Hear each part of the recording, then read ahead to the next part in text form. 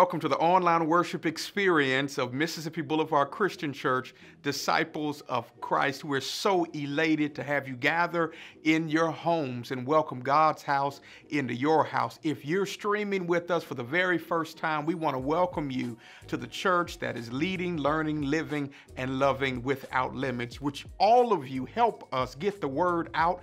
If you are streaming in via Facebook Live, take a moment and share our stream and then start a watch party to let those who are in your network know that we're worshiping right now.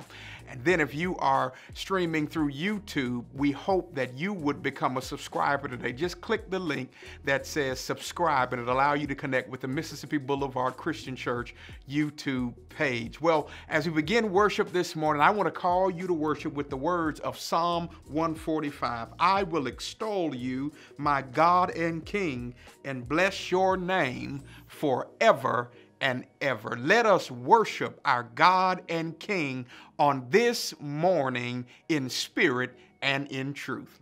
Let's go into worship. Please continue standing and join us in the singing of this morning's hymn, Holy, Holy, Holy.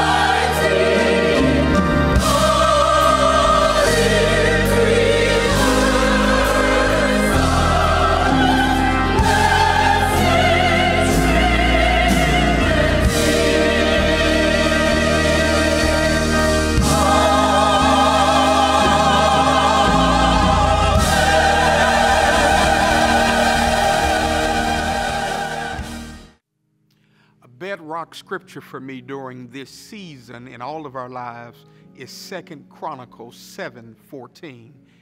God says, "If my people who are called by my name will humble themselves and pray, seek my face, turn from their wicked ways, then God says, I'll hear from heaven, I'll forgive their sins, and I'll heal their land."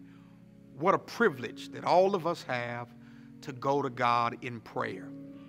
And so, as we did on last week, I want to invite you to gather with your families in your homes for a time of family prayer. I heard you, I didn't give you enough time on last week. So, on this week, as the music is played, I want you to bow in prayer in your homes and talk to the Lord.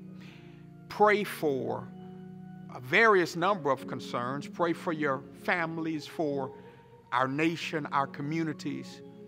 Pray for those who are on the front lines, not only healthcare workers. Pray for those who are funeral directors and embalmers who continue to work tirelessly during this time. And I want you to continue to pray for healing to come to our nation.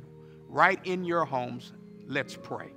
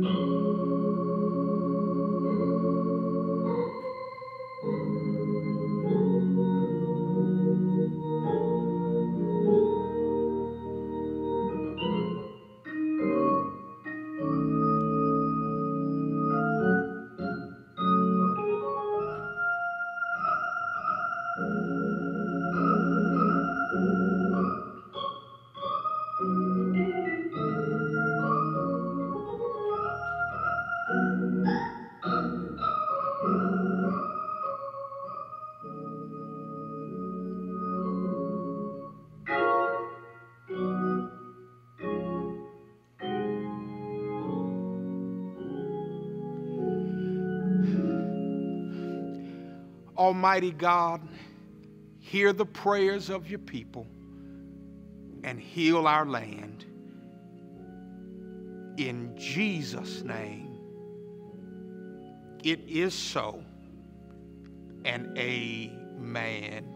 We believe God will hear our prayers and that God will send a healing to our land. My brothers and sisters, what a privilege it is for us to gather, even in our homes, to worship. I am mindful of the early church who, because of persecution, could not worship with public gatherings, but had to worship in their own homes. Yes, they studied the Word of God, they also prayed.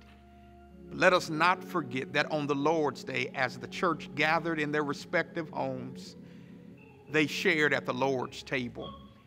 It's in the Christian church, disciples of Christ, that every Lord's Day we celebrate as the affirmation of faith teaches us the saving acts and the presence of Jesus Christ.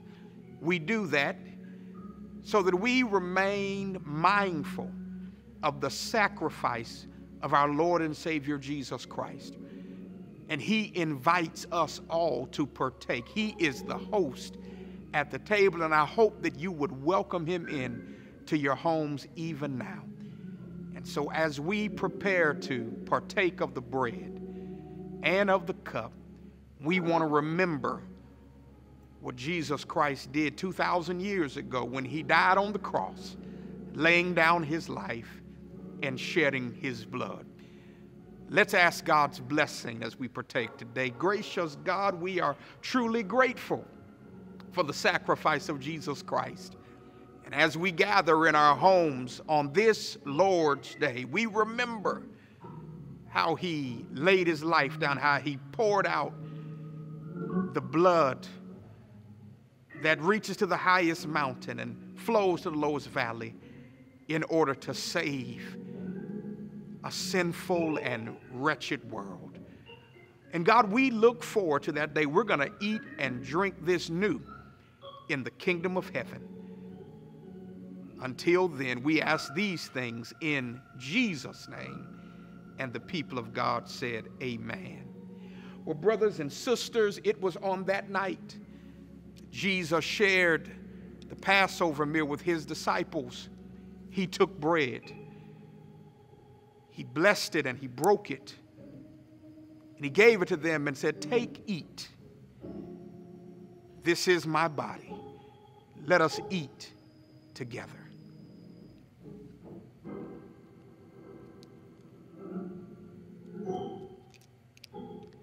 That same hour, in the same manner, Jesus took the cup. In the traditional Passover, it was called the Hallel cup. Jesus gave it new meaning. He said, This cup is the new covenant in my blood. drink all of it in remembrance of me. Let's drink of the cup together.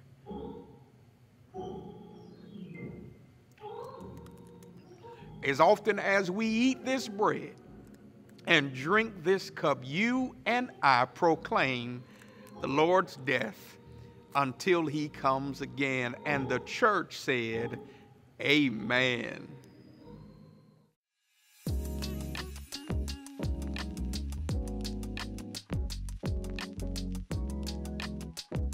What's happening, Boulevard family? I'm Jeremy Pierre. I know you missed me. I missed you. Yes, indeed. Look, the work of the church goes on. That's why we need you to pay very close attention to this month's announcements.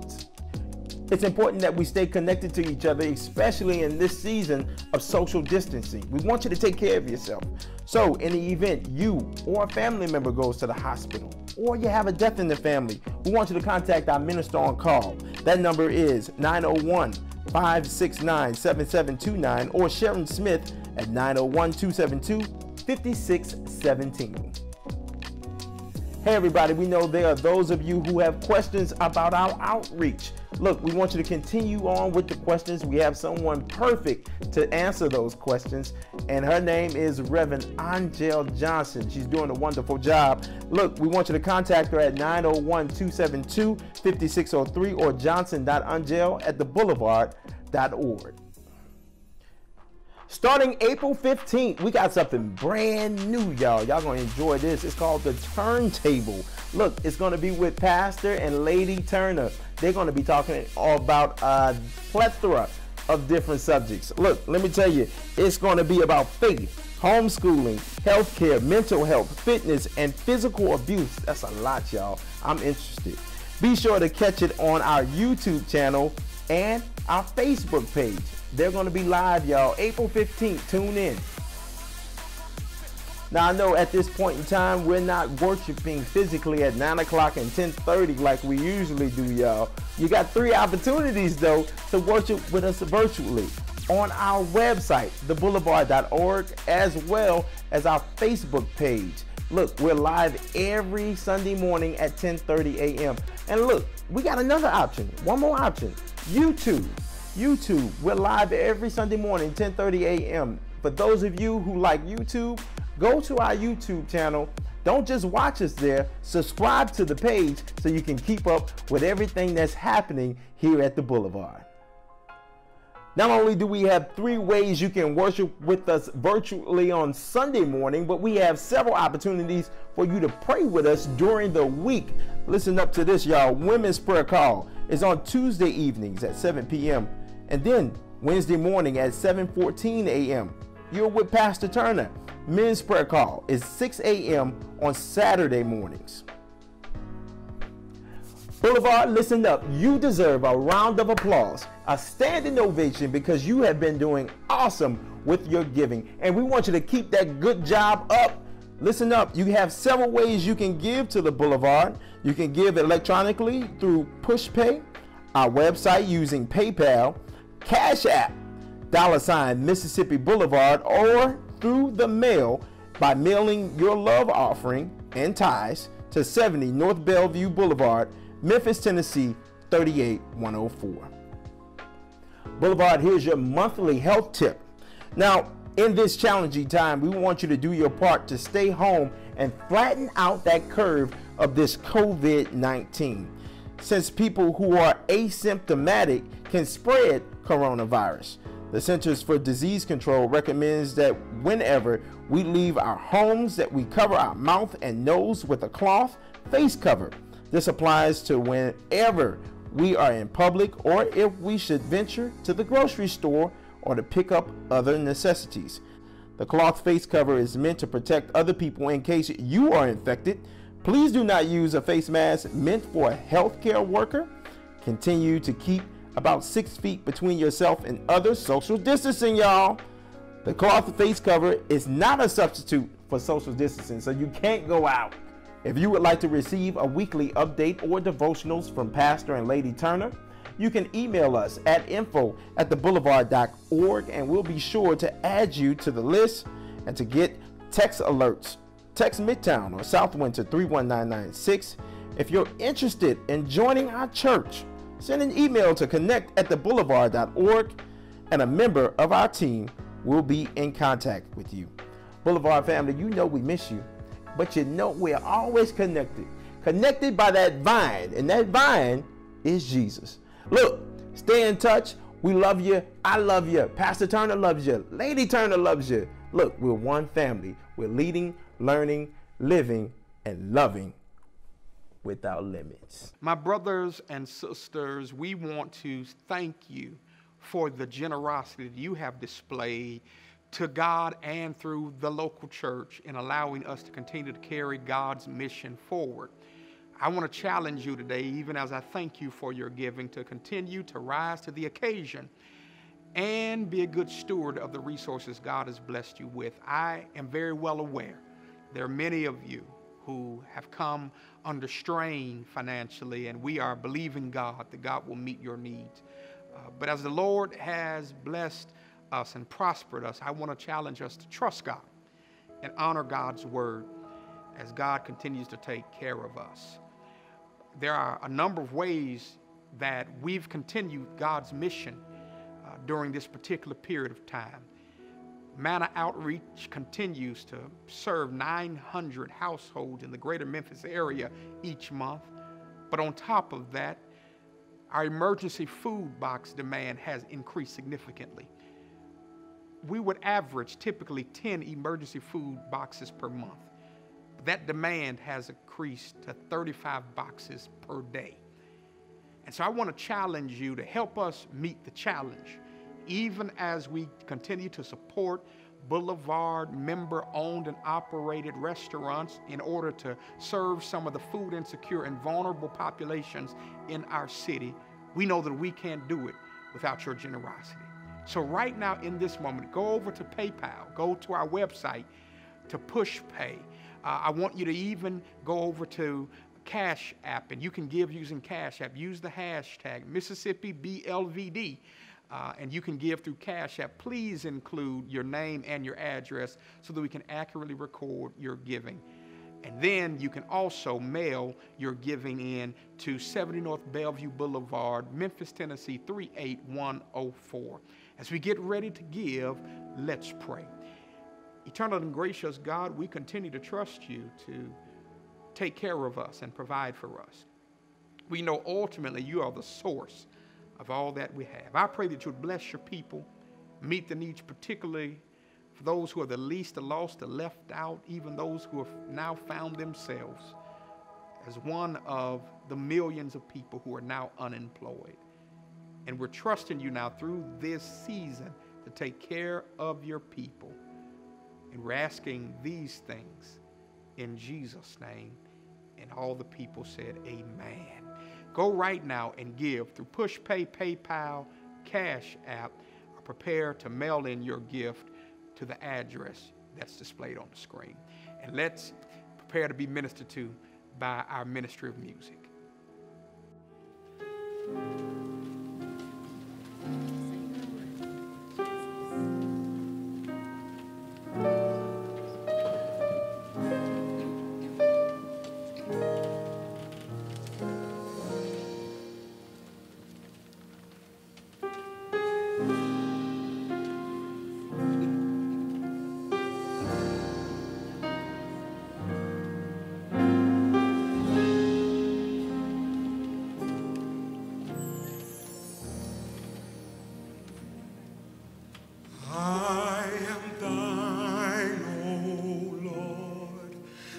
I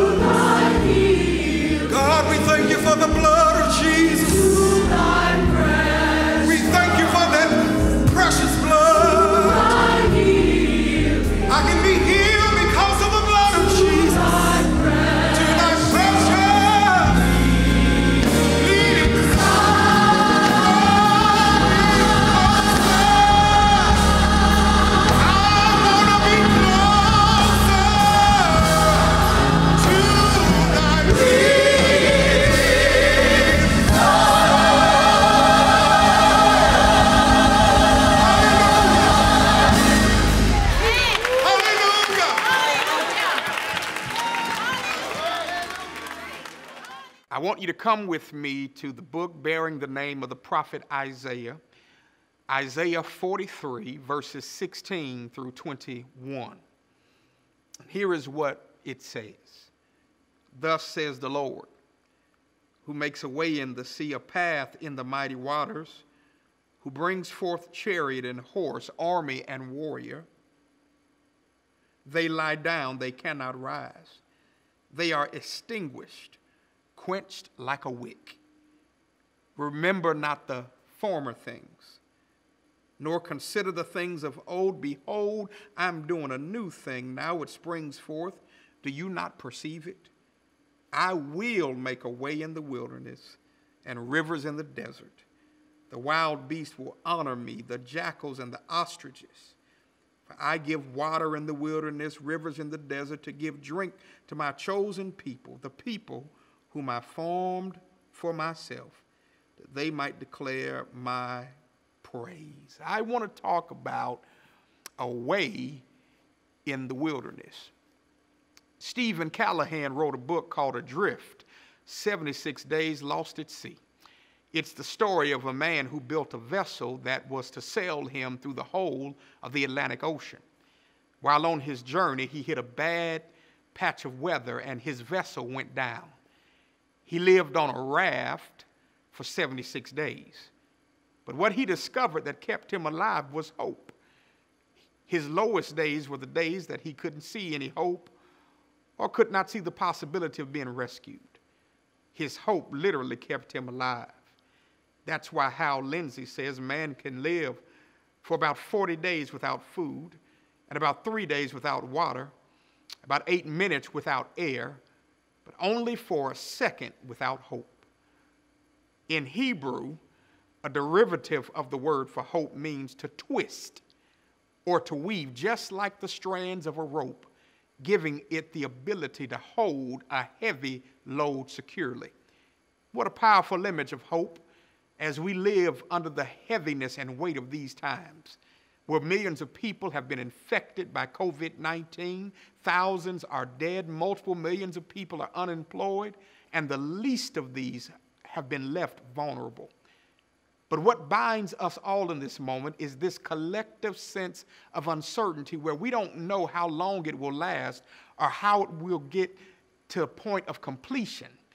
And I think the best way that we can describe this moment is that we are living in a wilderness the hope that we can take from this text in Isaiah is that our God is able to make a way for us in the wilderness. That's the witness of Israel and the prophet Isaiah in this passage. He lived during a time of international fear and uncertainty.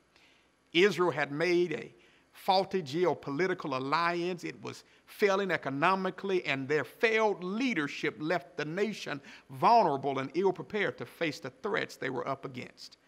As a result, Israel, God's chosen people, found themselves a servant nation to Assyria because King Ahaz trusted more in himself than in the Lord. As a consequence, the two northern tribes of Israel were taken away into captivity and relocated into what is modern day Iran. Isaiah, as God's prophet, comes onto the scene, and for the first 39 chapters, he gives God's people words that many of us would perceive as confrontational. He tells Israel and Judah that they needed to repent, change their ways, turn from their sinfulness, and turn back to God, or else they would face defeat. That's exactly what happened when they were led away as captives to Babylon. But the scene changes in chapters 40 through 66 as they are people in exile outside of their promised land with a shattered faith and an uncertain future. So God tells Isaiah to give the people words that would console and comfort them. God tells, tells the people they had received from the Lord's hand double for their sins. He wants to let them know that they had been through the worst of things and that as difficult as things have been, brighter days are coming and deliverance is near. But as deliverance was approaching, God didn't want the people to lose sight of who He was to them. This is why at the beginning of chapter 43, God has to tell them, Fear not, for I have redeemed you. I've called you by name. You are mine. And I think there are those of us who need this reminder in this moment that if God calls us by name, it means God hadn't forgotten about you. But not only does God call us by name, God claims us, for he says, You are mine. And if we belong to God, God takes personal responsibility in taking care of us. In this moment, God has slowed our busy lives down to reacquaint ourselves with the things that matter, particularly our families and friendships, and most of all, our relationship with Him. This is so necessary because our relationship with God is going to be the key to us being able to embrace the present and the future. As God navigates us towards deliverance, we must be ever so careful to trust God's providential leadership. Listen, we can't get so caught up in how God has worked in the past that we don't allow God room to do something new and fresh in the present as we head towards the future. This is the declaration of God through the prophet to the people in verses 18 and 19. Remember not the former things, nor consider the things of old. Behold, I'm doing a new thing. Now it springs forth. Do you not perceive it? See, verses 16 and 17 gives us testimony and the story that is retold every year of how God liberated his people from Egyptian bondage, leading them out as a free people through the wilderness. That testimony is recalled because it strengthens their faith to know that God is able. But in this season of their sojourn, God wants them to know that this time I'm going to make a way. And I don't want your past testimony to get in the way of your present trajectory. Trajectory determines how high, far, and fast you will go. And what God is saying to his people is that as you lead through this wilderness season, let me do something new and fresh in your life so that you come out of this wilderness wiser, stronger, and better than you did before this moment. Possibly God is speaking to someone who needs to develop a skill, complete a manuscript for a book, strengthen your prayer life, write out a business plan, and chart out a plan to pursue a goal. And God is saying, forget those things that are behind you. Stop resting on your laurels and simply rehashing past testimonies of what I have done in the past. I want to do something new and fresh in your life. Note as well that in the wilderness of these uncertain times, we can be assured of God's provision. Look at the end of verse 19. I will make a way in the wilderness and rivers in the desert. In the Exodus, that's alluded to in verses 16 and 17, you will recall that when they left Egypt and began their journey, their first obstacle was the Red Sea. In this moment, God opened the Red Sea, and the people walked across this body of water as if it was dry ground in Isaiah 43 19, God says, In this moment, I'm going to provide for you, making a way in the wilderness and rivers in the desert. That in this dry place of a wilderness where you can become famished and dehydrated, God's promise is not only to give them water to drink, but to make a way. God says, I'm going to give you rivers in the desert, which will not only give you water to drink, but that which they need to cultivate a place that under ordinary circumstances is not conducive for growth. You'll actually discover that in the original language, the word for wilderness used here is an uncultivated place that is suitable for pasturing sheep and cattle, which means that God is leading his people through a place that might be uncultivated, but it is a place that has what is needed to sustain you while you go through it. Here it is God will never take you where He won't keep you and provide for you. Someone needs to hear that today whose 401k has taken a hit. Someone who's lost a job or who is struggling to put food on the table and take care of your expenses. That in this desert place, God will supply your needs according to his riches in glory. So that your testimony will be as David's that I've never seen the righteous forsaken nor his seed begging for bread. It is in these moments we rediscover that our jobs nor our investments, were ever the sources, that took care of us. They were only the conduits that God was using to channel his blessings. When we consider how God has blessed us with providential leadership and supernatural provision, we can not keep to ourselves our praise. Verse 20 and 21 conclude this section with God saying, The wild beasts will honor me, the jackals and the ostriches.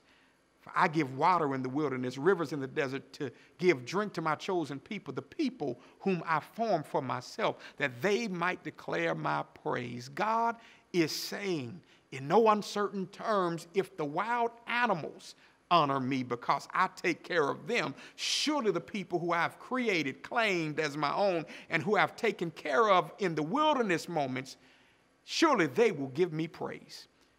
What this moment in the wilderness that we are all experienced should do is cultivate within us a greater sense of gratitude.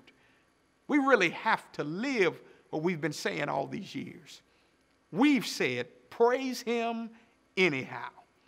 We've sang William Murphy's lyrics, I vow to praise you through the good and the bad. We've quoted, I'll bless the Lord at all times. His praise shall continually be in my mouth and give thanks in every circumstance, for this is the will of God according to Christ Jesus. Now, if we have said all of that, we have to live it by giving God praise in the wilderness as He brings us to the other side. Last May, Bridget and I took Josiah and Savannah to Disney World and spent most of our time in the iconic Magic Kingdom. Both Josiah and Savannah quickly developed a love for roller coasters. But there was one called Big Thunder Mountain Railroad that my son didn't care for. Mind you, it was not a ride that had the steepest drops, but it did have several moments during which the ride took us through some darkness. In those moments, he became afraid and fearful. So much so that when the ride ended and the car opened, he got out of the car, stood on the pavement, and said, Thank you, Jesus. and when I thought about that moment, I reflected on some of the other rides we took with them that had steeper drops, but he could see and anticipate what was ahead.